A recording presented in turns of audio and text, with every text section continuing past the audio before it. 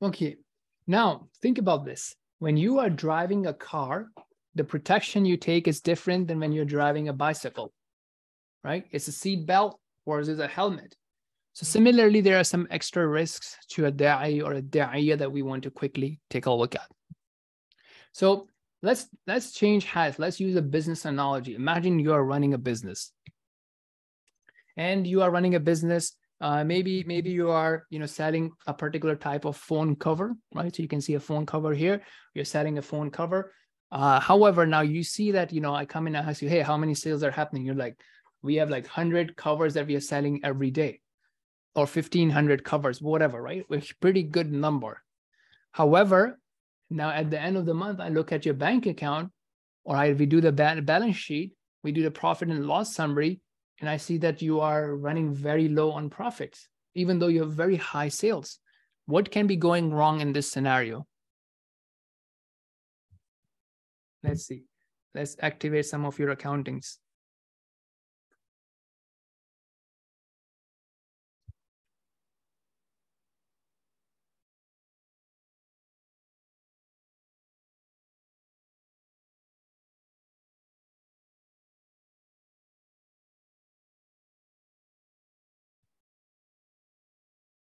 Yes. So the issue could be that your expenses are very high. Perhaps you buy the cover for $10 and then you're selling it for $10.10. So you don't have a lot of margin. So, and then you also have to cover your overhead costs.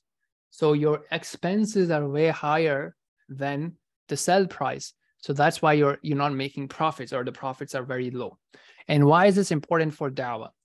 Is because as we are trying to share the message of Islam with someone else, or as a community, we are trying to bring new people to Islam, it will be very unwise and very stupid for us to lose the da'i while we're doing that. Or at an individual level, it will be very unwise for me to lose my own faith or have a loss of my faith one way or the other while trying to help other people come to Islam. And the way these type of losses happen is first and foremost the attack on sincerity okay. What would happen is you may start doing it for the sake of allah but then it becomes about you. You know how many people like me? How many shahadas am i getting? You know it becomes a competition within the team or competition with other organization right? And then so you have to be really really careful. Is it about me my success? How much am i being you know uh, lifted up in public eye? Or is it really for the sake of allah subhanahu wa ta'ala? Right? Am i just like am i inviting people with care or i just want to like show my ego and i want to show to them that how i can defeat them in the in the argument? Um, the second thing that can come is, is obviously financial benefits right? Uh, some people may utilize their dawa popularity to to receive funds and uh, have improper use of the funds for example. And then lastly uh, opposite gender right? Sometimes one may fall into uh, this, and sometimes it happens, right? People come to us, sometimes sisters coming to us, and you know they're emotionally invested in someone uh, in a male who is not a Muslim yet, and they think that they will be able to convert him. And even before that, they're now emotionally invested. So it becomes a really hard thing for them to now back And, and same thing happens, you know, uh, for for the guys as well. So something to be really careful about that, you know, uh, because shaitan is going to come in from whatever angle he can. So these are some exposure that people have from a sincerity perspective. The second exposure that people have is desensitization. So what happens is uh, now you are spending a lot of time with non-Muslims or even new Muslims who may have a lot of bad habits. Some of them may be sins. Some of them may be drinking. Some of them would hardly pray. Maybe they'll pray once a day or once a week, right? Forget the sunnah. They're hardly praying their full prayer. Now, obviously as a, as a mentor as a coach you have to prioritize and you have to accept that yes they're praying one that's better than zero and so on and so forth. Now but what can happen is if you are only hanging out with those type of people your own motivation can go low right? A sin that you used to consider big now becomes a common thing because your mentee the new muslim you're working with is doing that day in and day out. So you have to protect yourself that if you start seeing that oh, I don't need to pray my uh, voluntary prayers or my voluntary Quran because now you're hanging out with people who are doing like 1% of what you are doing. So it, it, it uh, you may get demotivated, you may get desensitized. So you want to protect your deen and you want to protect your own motivation. So you definitely want to be hanging out with people who that who are people that you can look up to. So make sure that you have a balance. And your life is not about just hanging out with non-Muslims and new Muslims. You're also hanging out with ulama, with scholars, with student of knowledge, with a bad that, that can elevate you and help you keep your own goals as well. And then lastly, uh, is that just like a doctor, right? A doctor knows medicine, he knows how to treat, but when he or she is in the hospital, they would take extra precaution. They would wear a mask, they would use antiseptic, you know, uh, disinfection, disinfectionary uh, liquids, and so on and so forth. So we have to be very careful that look, you may be talking to someone. Now there are different people. Some people they're like very neutral about Islam or religion. They don't know much. But then there are people who are philosophers. They have a lot of philosophy jargons uh, there are people who are like deep into interfaith. So you have to be careful and choose wisely where you spend your time in. Okay.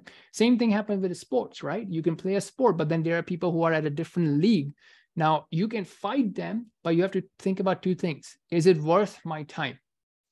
Because you have option. You can talk to, let's say, John or you know, Jacob or you know, uh, I don't know, Tom, right? And if let's say tom is a philosopher and phd and it's going to take a huge amount of time and you know he's not listening and he's going into all these areas that you don't have expertise in now you have two options. Either move on you know talk to john talk to jake talk to jacob forget tom.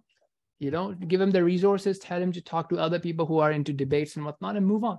Or now you have to spend time in learning all the things that tom is saying and be able to respond to him Okay, so just something for you to think about what level you want to work in. And there's nothing wrong with finding your own niche market and people that you're comfortable in so that you don't have to get confused about your own deen. Okay, so now we're going to move on on a different scenario. So first we thought that, okay, look, as an ummah, if we are getting our da'is confused, or if you're dropping the level of iman or the level of deen of our da'is, then not necessarily we are not being successful because we may lose one da'i and get one weak new Muslim. Is that really a profitable thing? So we have to first protect what we have and then expand, not you know be in a situation where we are losing the da'is themselves, whether it be sincerity, whether it be confusion, whether it be desensitization. So that's something for us to keep in check for individually. Now, the second area, imagine now you understand that in the business example that we had, that where you were selling these phone covers, and now you have either increased your sell price or you've found a better uh, distributor, better, better wholesaler, so that the price is cheap now. So now you're getting it for five bucks and you're selling it for $10. So you have a good $5 margin per product or per, uh, yeah, per, uh, per product. So what's, and still you don't have cash flow. What can be going wrong now? Let's see if you can crack this one.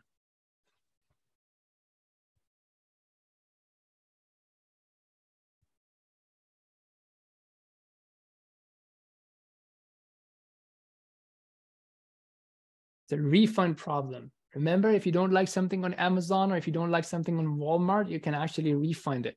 So that's another thing that's happening. We see hundreds of people taking Shahada or thousands of people taking Shahada. That doesn't mean that those people are showing up for Salah or those people are even showing up for Jumu'ah.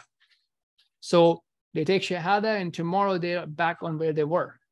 So this is a refund problem that we need to think about because we think, oh, mashallah, thousand people become Muslim today. I just saw that, you know, uh, 500 people accepted Islam in Qatar in the last week or something like that. Right now, alhamdulillah for that. But i think we are also being naive if we think okay 500 people become muslim we don't have to do anything. Now what, what are we going to do about those 500 people? Who is thinking about that? I don't know. Maybe there are people who are but most of the time as i mentioned in my experience the dawah balance has been tilted more on the non-muslim side and then we relax once the shahada happens. So the decisions that you and i have control on is like as i mentioned earlier what am i spending my time on Am I a gossiper? Am I just an entertainment consumer? Am I a social media consumer? Am I just going to talk about the people and this and that and different uh, communities and different uh, leaders? Or am I actually doing something about who am I hanging out with? How much of my time is between non Muslims and new Muslims, and how much of my time is with people that I can look up to? and what am I going to focus on, and what will I do about the situation of the ummah. So you have a whole bunch of different questions that we have choice about.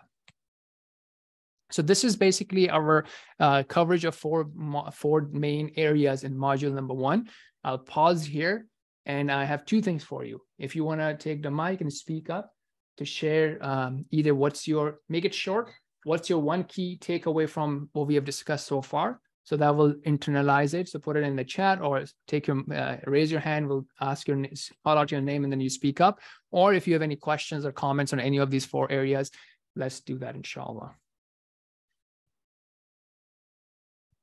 So you can use chat or if you want to speak, raise your hand inshallah.